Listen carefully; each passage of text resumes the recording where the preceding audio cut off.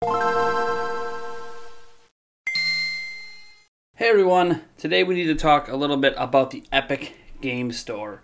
Um, the Epic Game Store is essentially an alternative PC video game purchasing store to places like Steam or Origin or whatever Ubisoft's Uplay store, whatever it is, or obviously things like Battle.net, which really just applies to Blizzard games from Activision Blizzard.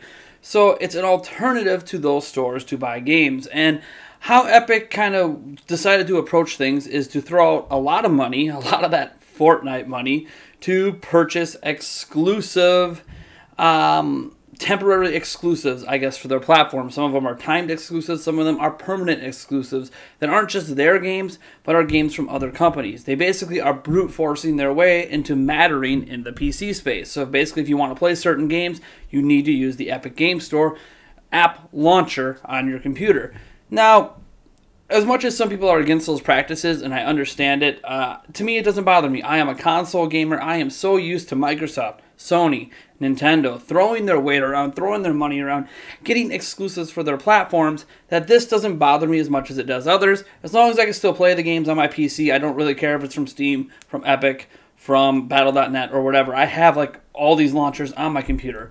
Or, well, I did. Because it looks like the Epic game launcher uh, might be potentially stealing data from your computer. It's at least logging data. So, what happened is, and this gets really technical, so I'm not going to go into all the details, but I am going to show a bunch of images on screen of people that kind of explained it and all this stuff. Uh, essentially, the Epic game launcher is, well, it's running processes on your computer that it does not need to be running. It is doing things like checking your local Steam profile, which gives them access to not only your friends list, but also gives them access to the games you own on Steam, the time you played those games, and all of that jazz. It also gives them access to things on your computer like Internet Explorer, which is for some reason they're loading Internet Explorer. They gave a weird explanation for that. Uh, something to do with DRM and online verification. I don't know. It's a really dumb thing because Steam doesn't do that, and Steam has DRM. And in fact, a lot of games on Steam use Denuvo, which again, that's a whole nother conversation for another day if I'm going to talk more about PC gaming. But uh, it's also like going into your registry and, and doing things in your registry that it doesn't need to be doing. And in general, it is basically gaining access to all of this private local information on your computer that it does not need to access. Origin does not access this stuff to run.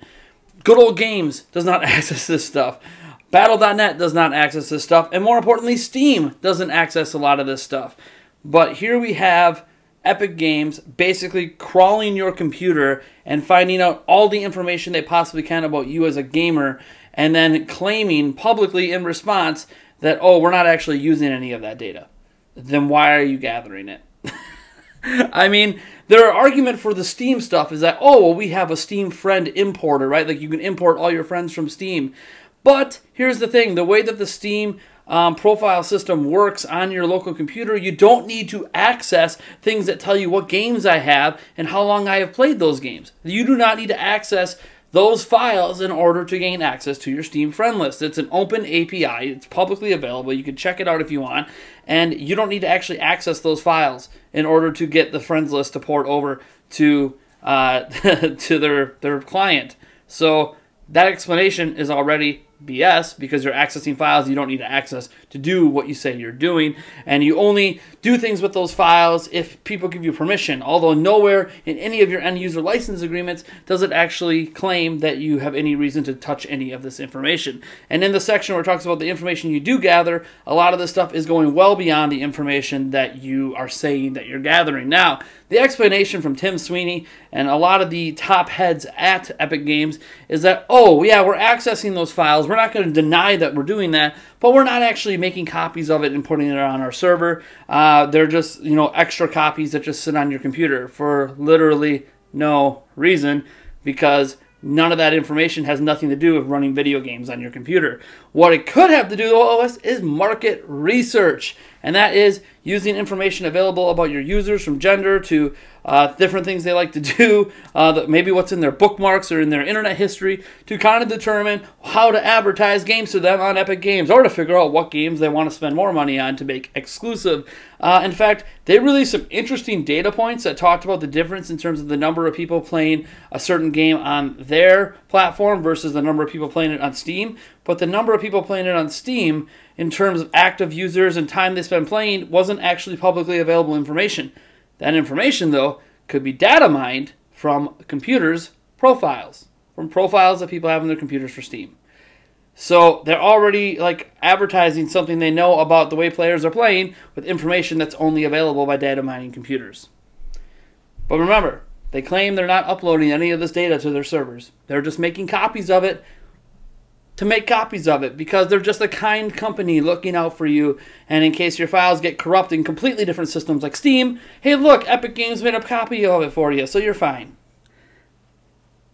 Not looking good. Uh, if you want to dig deeper into this, I'll put a few uh, more links in the description so you can actually get into the exact things you need to be looking out for if you are running the Epic Game Launcher on your PC. Uh, it starts by looking at the Windows processes and things that it's running, but it, it, goes so much deeper than that. It's actually getting worse and worse every day. People are discovering more and more things that the Epic Game Launcher is actually gaining access to, and it's insane how, like, malware like this is acting. It is crawling all over your computer when it has no business doing it.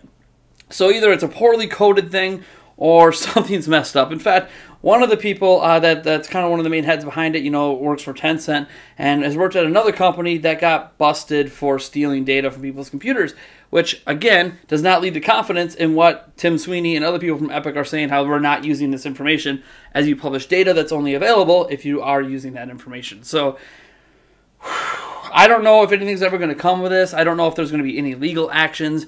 Uh, what I can say is I'm really disappointed in the video game industry in terms of the media, especially on the website side of things. It appears that a lot of traditional print media websites are kind of throwing this news under the bus. In fact, I've seen some positive articles put out about some of the changes coming to Epic Games Store, like cloud saves and all that. And those are positive changes, and we absolutely should talk about those. But you can't talk about those and ignore what's happening. I mean, rock, paper, shotgun, just to call out one particular outlet in particular. Oh my gosh, are they white knighting for Epic like crazy? Uh, saying that, well, you know, everyone's talking about all this stuff, but Epic came out and said that they're not using any of this stuff. Ergo, it's not a big deal, and people just blew it out of proportion. Reality is, Epic has no reason to access most of the stuff that they're accessing anyways, even if they're not putting copies on their server. Then why are they accessing these files in the first place? That's the entire point. If they're not going to be using that the information, then why are they gathering it? That is the ultimate question that Epic is refusing to answer. So yes, the Epic Game Launcher is basically acting like malware, and uh, people are worried about the security of their systems with it on. There's a lot of people that are refusing to now even use Epic Games anymore. Uh, I I'm not sure where I stand on this. I think a lot of this, because of the public backlash, is going to be addressed. But then again, if the media keeps sweeping it under the rug, maybe the hope is that it'll go away. And why are they doing it? Maybe they're getting some fat advertising checks from, from Epic. I don't know. Uh, Epic doesn't pay me, so I really don't care what I say about them. Even if they did, if I found out they were doing this, I would call it out. And I would probably end my partnership with them because uh, this is not good. Again, there's no evidence to suggest that Epic is actually using the data um, necessarily on your computer. we can't 100% prove that that's the case. But what we do know is it is gathering data they claim they are not using. So why are they gathering the data? that's the that's the million dollar question that no one's really answering. And again, Epic's acting like it's not a big deal. Um, and I know for a lot of people out there, you don't care about security when you use a computer. Um, all your information is already out there. I mean, even for me, if you really want to find my address or my phone number or whatever, anything about me, it's out there on the internet. You'll be able to find it somewhere. But uh, in terms of some of my private passwords and all that stuff, like that's only on my computer and in my brain.